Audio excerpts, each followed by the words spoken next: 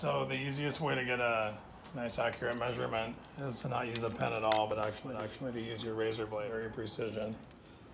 So we're gonna do 15 and 9 16 So just put your blade right there and just press it in just a little bit like that. And then take your square and bring your square right up to the blade and then just mark it.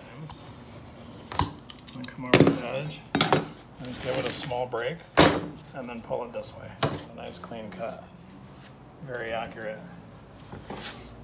You'll always be able to uh, get your exact measurement. So 15 and 9 sixteenths.